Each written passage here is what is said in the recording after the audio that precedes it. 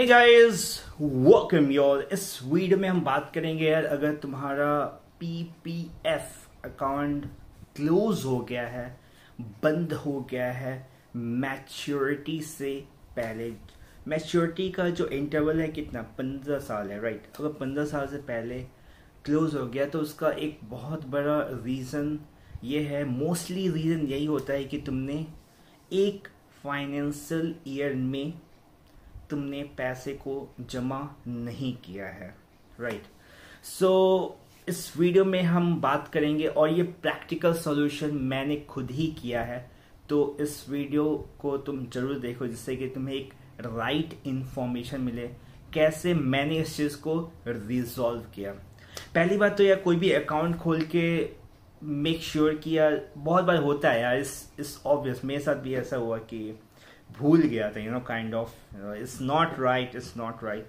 लेकिन अगर ऐसा है तो एक बार मेक श्योर sure कि it should be in the front of your eyes so that you can keep in touch with that right anyway अब हो गया है, कोई घबराने वाली बात नहीं है। तुम्हें क्या करना है? बैंक जाना है। कहाँ पे जाना है? जिस बैंक में, जिस ब्रांच में तुमने अपना अकाउंट को ओपन किया है। ठीक है, चलिए।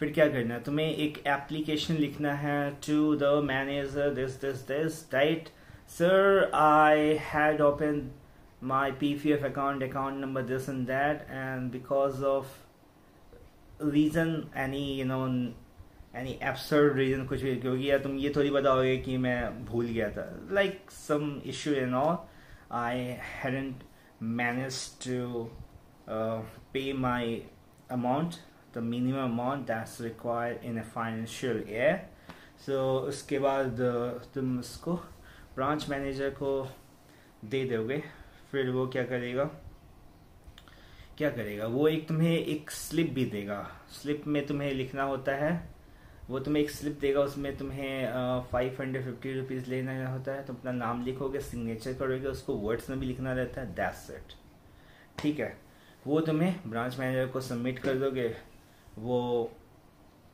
खुद ही तुम्हें सही कर देगा। सही कर देगा मतलब सामने ही वो अच्छा अगर जैसे कि लाइन लगी है तो लाइन में लगोगे यार ऑफ़ कोर्स लाइन में लग गए। तुम्हारा नंबर आया, तुमने दिया। अच्छा क्या बात है? देखेगा। ठीक है। फाइव हंड्रेड फिफ्टी और फिफ्टी रुपीज़ पेनाल्टी भी लगता है पर फाइनेंशियल ईयर मान लो जैसे तुम दो साल से, जो कि क्वाइट एब्सर्ड दो साल से मान लो अगर तुम नहीं किए हो तो फाइव हंड्रेड फिफ्टी रुपीज़ एक साल का, दूसरे का एक हज़ार और पचास पचास रुपये पर ईयर के हिसाब से तुम्हें पेनाल्टी भी लगता है राइट तो पर हेयर के हिसाब से फिफ्टी रुपीज़ तुम्हें देना होगा, ठीक है?